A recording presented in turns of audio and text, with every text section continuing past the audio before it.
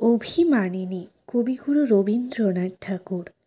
এলো থেলো চুলগুলি ছড়িয়ে ওই দেখো সে দাঁড়িয়ে রয়েছে।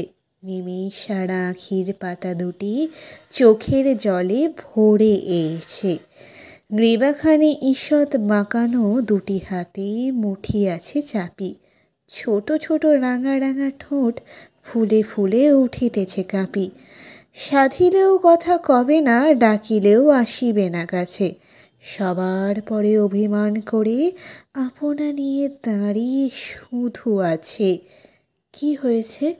কি হয়েছে বলে বাতাস এসে চুলগুলি তোলায় রাঙা ওই কপলখানিতে রবির হাসি হেসে চুমো খায়।